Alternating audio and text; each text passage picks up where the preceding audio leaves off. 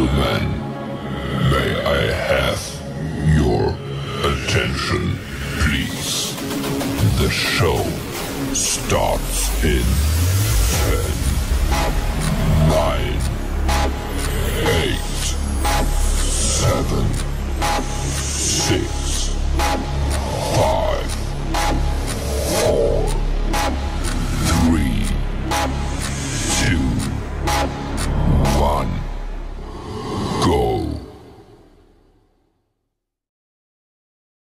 Mm-hmm.